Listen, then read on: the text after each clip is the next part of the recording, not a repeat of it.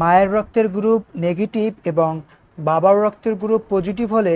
প্রথম বাচ্চা জন্মদানের সময় বেশিরভাগ বাচ্চাকে পরীক্ষা করে দেখা যায় বাবার রক্তের গ্রুপ পজিটিভ, সন্তানের রক্তের গ্রুপও পজিটিভ হয়েছে।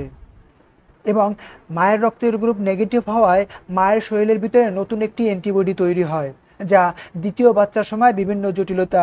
দেখা দিতে পারে, যেমন জন্ডিস